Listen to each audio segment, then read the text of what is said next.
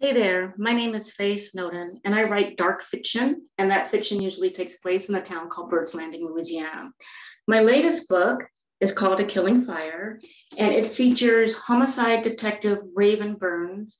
And Raven is the type of detective who will stop at nothing to um, bring ruthless serial killers to justice. I mean, she's a rule breaker, but she must do this while battling um, in her head the ghost of her father, who happens to be a notorious uh, serial killer, uh, Floyd Burns.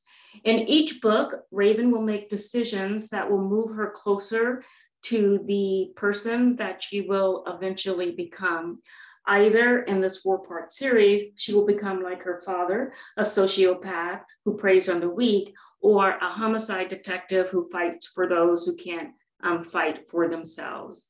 You can get a Killing Fire at the San Francisco Public Library, and eventually you can get the sequel, A Killing Rain, that's going to be out in June 2022 at the library at, as well. Or you can uh, get it at your favorite independent bookstore.